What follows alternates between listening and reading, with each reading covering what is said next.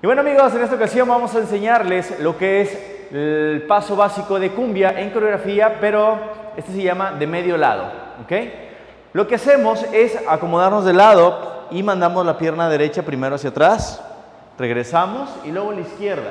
Lo que hacemos es como que flexionar, al abrir quito flexión y luego regresas, ¿sí? Serían como tres pisadas. Un, dos, tres, un, dos, tres, un, dos, tres, y 1, 2, 3. ¿Ok? Ese es de medio lado. Va. 1, 2, 3.